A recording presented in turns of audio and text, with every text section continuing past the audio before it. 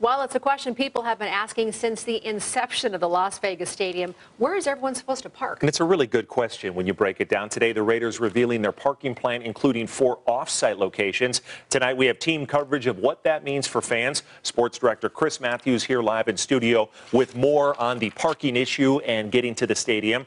Uh, but we also go with a closer look at the parking option to Patrick Walker, who's live at Tropicana in Arville at one of the proposed sites. Patrick?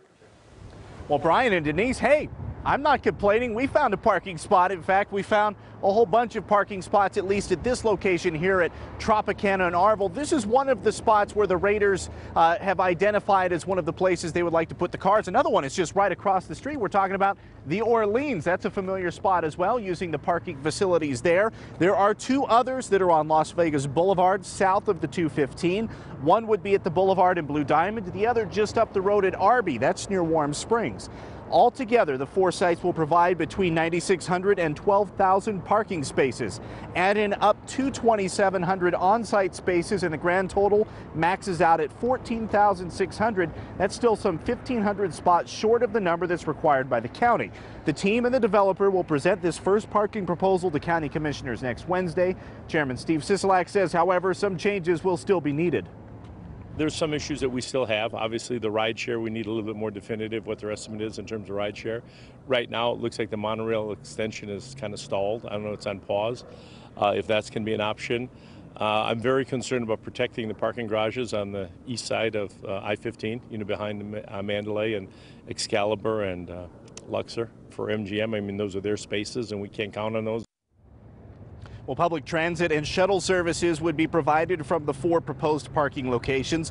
Also, the stadium is being designed to accommodate a large number of ride-sharing vehicles like Uber and Lyft. Now, accommodating the traffic in the area, however, that's also a big topic of conversation. Uh, road improvements are going to be needed. In talking with uh, Commissioner Sisolak, he says the team is not going to cover those expenses. That's something that the taxpayers would cover, but there are plans that are constantly in the work. You look at 5, 10, 15 years down the road that are uh, planned plans that are constantly being updated, so some of the ones for improvements around the stadium would just be bumped up on the priority list. For now, reporting live, I'm Patrick Walker, 8 News Now.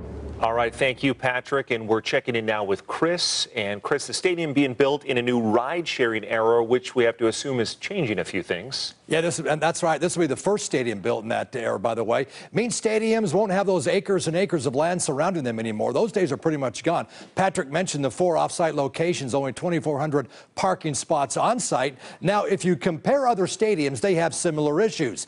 The Vegas Stadium will seat 65,000. They have 2,300 on-site spaces. In Atlanta, the new Mercedes-Benz Stadium seats 75,000, yet it only has a little over 2,300 spots. The other brand new stadium in Minneapolis seats 66,000. It has 273 on-site spots. Those who attend games say, hey, you got to make it work. In Oakland, we had that entire parking lot, and we share that parking lot with the Oracle Arena.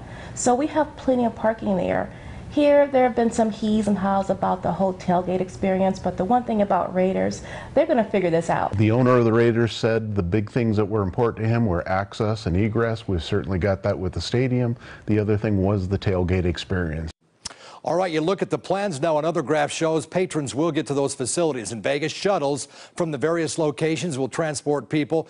Then the Raiders will also have those four sites that will shuttle people uh, to the games. Six of the eight teams on this graph, you notice, have some sort of light rail system, whether it be heavy or light. I think one thing we do understand from this plan is the famous Raiders tailgating, as it's been in the past, will be different. Maybe the team will reveal more on its tailgating plans at next, uh, next week's meeting. Denise? Brian?